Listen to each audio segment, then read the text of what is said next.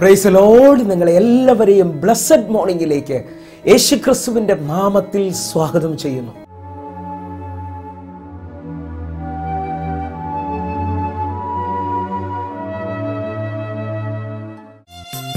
സ്നേഹത്തിനിടയനാമേശുവേ,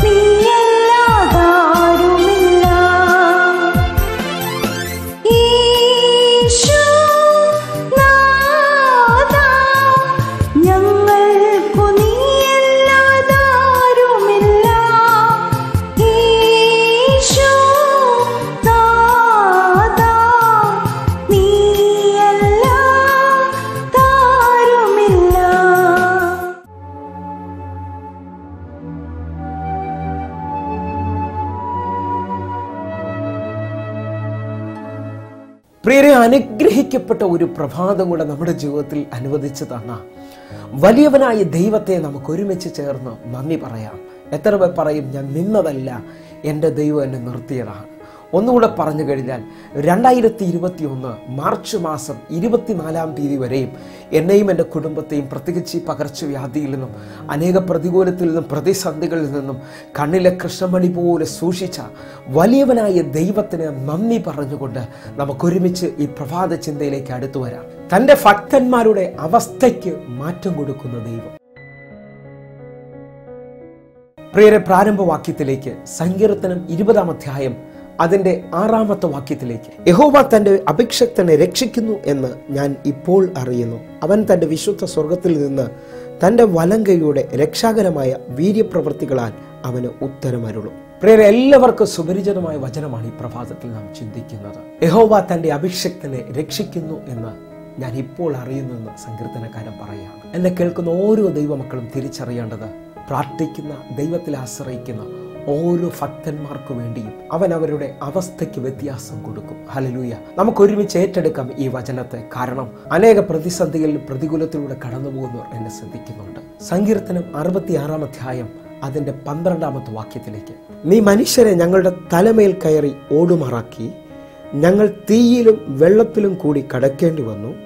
എങ്കിലും നീ ഞങ്ങളെ സമൃദ്ധിയിലേക്ക് കൊണ്ടുവന്നിരിക്കുന്നു. ഈ വാക്യം നിങ്ങൾ ശ്രദ്ധിച്ചു നോക്കിയാൽ സങ്കീർത്തനക്കാരൻ പറയാണ് നീ മനുഷ്യരെ ഞങ്ങളുടെ തലയിലൂടെ കയറി ഓടുമാറാക്കി. തീയിലും വെള്ളത്തിലൂടെ ഞങ്ങൾ കടക്കേണ്ടി വന്നു. എങ്കിലും നീ ഞങ്ങളെ സമൃദ്ധിയിലേക്ക് കൊണ്ടുവന്നു. എന്ന് പറഞ്ഞാൽ വിശ്വസിക്കുന്ന ഓരോ ദൈവമക്കൾക്കും അവൻ അവസ്ഥകൾക്ക് വ്യത്യാസം കൊടുക്കും. അലലുയ ഒരു പക്ഷേ ഭയങ്കര പ്രതികൂലത്തിലൂടായിരിക്കാം തീയിലൂടെ വെള്ളത്തിലൂടെ കടക്കുന്ന അനുഭവമായിരിക്കാം ഭയങ്കരമായ എതിരുകൾ കാണുന്നവർ എന്നെ കേൾക്കുന്നുണ്ടാകാം. എന്നാൽ വിശ്വസിക്കാമെങ്കിൽ ഈ പന്ത്രണ്ടാമത്തെ വാക്യം അവസാനിപ്പിക്കുന്നത് നീ ഞങ്ങളെ സമൃദ്ധിയിലേക്ക് കൊണ്ടുവന്നു. കാത്തിരിക്കുന്ന ഒരുവൻ പോലും ലജ്ജിച്ചു പോകത്തില്ല. അവന്റെ ജീവിതത്തിനകത്ത് ദൈവം വ്യത്യാസം കൊണ്ടുവരും. ഞാനിത് വിശ്വസിക്കുന്നു പ്രിയരെ. കഥാവ് നമ്മുടെ ജീവിതത്തിനകത്ത് വ്യത്യാസം കൊണ്ടുവരും. അമ്പത്തിമൂന്നാം സങ്കീർത്തനം ആറാമത്തെ വാക്യം. സിയോനിൽ നിന്ന് ഇസ്രയേലിന്റെ രക്ഷ വന്നുവെങ്കിൽ ദൈവം തന്റെ ജനത്തിന്റെ സ്ഥിതി മാറ്റുമ്പോൾ യാക്കോബ് സന്തോഷിക്കുകയും ഇസ്രയേൽ ആനന്ദിക്കുകയും ചെയ്യും. ഈ വാക്യത്തിന്റെ അടിസ്ഥാനത്തിൽ ദൈവം തന്റെ ജനത്തിന്റെ സ്ഥിതി മാറ്റുക തന്നെ ചെയ്യും. നമുക്ക് വിശ്വസിക്കാം നമ്മുടെ സ്ഥിതിയെ മാറ്റുന്ന ഒരു ദൈവമുണ്ട്. ഒന്നുകൂടെ പറഞ്ഞു കഴിഞ്ഞാൽ നമ്മെ നോക്കി നമ്മുടെ ചുറ്റും നിൽക്കുന്നവർ ഒരുപക്ഷെ എല്ലാ വഴിയും അടഞ്ഞെന്ന് നമ്മെക്കുറിച്ച് പറയുന്നുണ്ടായിരിക്കാം. പക്ഷേ സങ്കീർത്തനക്കാരൻ പറയുന്നത് ശ്രദ്ധിക്കണമേ. സങ്കീർത്തനം മൂന്നാം അധ്യായം അതിന്റെ രണ്ട് മൂന്ന് വാക്യങ്ങളിലേക്ക്. അവന് ദൈവത്തിൽ നിന്ന് രക്ഷയില്ല എന്ന് എന്നെക്കുറിച്ച് പലരും പറയുന്നു. മൂന്നാമത്തെ വാക്യം. നിയോ യഹോവേ എനിക്ക് ചുറ്റും പരിചയം എന്റെ മഹത്വവും എന്റെ തലയുയർത്തുന്നവനും ആകുന്നു. അവൻ നമുക്ക് ചുറ്റും പരിചയം അതിമഹത്വവും നമ്മുടെ തല ഉയർത്തുന്നവനുമാണ് ഈ പ്രഭാതത്തിൽ ആരുടെയൊക്കെയോ സ്ഥിതിക്ക് ദൈവം വലിയ മാറ്റം വരുത്തുവാൻ പോവുകയാണ്. അവസ്ഥയ്ക്ക് മാറ്റം വരുത്തുവാൻ പോവുകയാണ്. പ്രാർത്ഥിക്കുന്ന ഭക്തന്റെ സ്ഥിതി നിശ്ചയമായി മാറിയിരിക്കും അവന്റെ എതിരുകൾ മാറും. നമുക്ക് എസ്തേറിന്റെ പുസ്തകം ആറാം അധ്യായം അതിന്റെ പതിമൂന്നാമത്തെ വാക്യത്തിലേക്കും കൂടെ. തനിക്ക് സംഭവിച്ചതൊക്കെയും ഹാമാൻ ഭാര്യയായ സേരശിനോടും തന്റെ സകല സ്നേഹിതന്മാരോടും വിവരിച്ചു പറഞ്ഞു.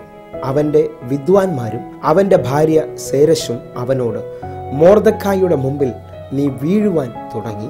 അവൻ യഹൂദ വംശകനാകുന്നു എങ്കിൽ നീ അവനെ ജയിക്കുകയില്ല. അവനോട് തോറ്റുപോകുകയുള്ളൂ എന്ന് പറഞ്ഞു. ഈ വചന പശ്ചാത്തലം നമുക്ക് എല്ലാവർക്കും അറിയാം. ഹാമാൻ എന്ന വ്യക്തി യഹൂദന്മാരെയും മോർദക്കായും ഒരുമിച്ച് നശിപ്പിക്കുവാൻ പോകുകയാണ് എന്നാൽ മോർദക്കായോട് കൂടെ ഒരു കൂട്ടം ആൾക്കാർ ഉപവസിക്കുകയും പ്രാർത്ഥിക്കുകയും ചെയ്യാം. എന്നെ കേൾക്കുന്ന ഓരോരുത്തരോടും ആത്മാവിൽ പറയുകയാണ് പ്രാർത്ഥനയ്ക്ക് വലിയ വ്യത്യാസം കൊണ്ടുവരാൻ കഴിയും. ഹലലുയ മോർദക്കായി തന്റെ ദൈവത്തോട് നിലവിളിച്ചതായി കാണാം. എസ്തേറിന്റെ പുസ്തകം നാലാം അധ്യായത്തിൽ നമുക്കെല്ലാവർക്കും കാണാം മോർദക്കായി ഉപവസിച്ചു നിലവിളിക്കുന്നത്. പ്രാർത്ഥിക്കുന്ന ഉപവസിക്കുന്ന ദൈവമക്കളുടെ ജീവിതത്തിനകത്ത് ദൈവം വലിയ വ്യത്യാസങ്ങൾ കൊണ്ടുവരും. ഇത് ഹാമാന്റെ ഭാര്യയും കൂടെ നിന്ന സ്നേഹിതന്മാരും പറയാണ് അവൻ യഹൂദ വംശകനാണെങ്കിൽ നിനക്ക് അവനെ ജയിക്കുവാൻ കഴിയത്തില്ല. എന്നെ കേൾക്കുന്നവരെ മോർദക്കായുടെ ദൈവത്തെക്കുറിച്ചാണ് ആ കൂട്ടർ പറയുന്നത്. ഇന്ന് വിശ്വസിക്കുന്നവർക്ക് വേണ്ടി അവരുടെ അവസ്ഥയെ ദൈവം മാറ്റുവാൻ പോവുകയാണ്. നമുക്ക് ഒരുമിച്ചൊന്ന് പ്രാർത്ഥിക്കാം. ഞങ്ങളെ സ്നേഹിക്കുന്ന ഞങ്ങളുടെ നല്ല കർത്താവ് ഞങ്ങൾ ഒരുമിച്ച് ചേർന്ന് ഇന്ന് എന്നെ കാണുന്ന എന്നെ കേൾക്കുന്ന ഓരോ മക്കൾക്കുമായി പ്രാർത്ഥിക്കുന്നു. ഞങ്ങളുടെ അവസ്ഥകളെ മാറ്റുന്ന ഒരു വലിയ ദൈവത്തെ ഞങ്ങൾ കാണുകയാണ്. ഓരോ മക്കൾക്കും വേണ്ടി അങ്ങ് വാതിൽ തുറക്കണമേ. യേശുവിൻ നാമത്തിൽ പ്രാർത്ഥിക്കുന്നു. ആമേ പ്രിയരെ ഈ പ്രഭാത സന്ദേശം നിങ്ങൾക്ക് അനുഗ്രഹമാകുന്നു എങ്കിൽ നമ്മുടെ യൂട്യൂബ് ചാനൽ സബ്സ്ക്രൈബ് ചെയ്യുകയും ഫേസ്ബുക്കിലേക്ക് നിങ്ങൾ ജോയിൻ ചെയ്യുകയും ചെയ്യണമെന്ന് ഓർപ്പിക്കുന്നു. എല്ലാ ദിവസവും സൂമിൽ നമുക്ക് ആരാധന നടക്കുന്നു. നിങ്ങളെയും ക്ഷണിക്കുന്നു. എങ്കിൽ ഈ പ്രഭാതം ഏറ്റവും അനുഗ്രഹമായി തീരട്ടെ. ഗോഡ് ബ്ലസ് യു ആമേ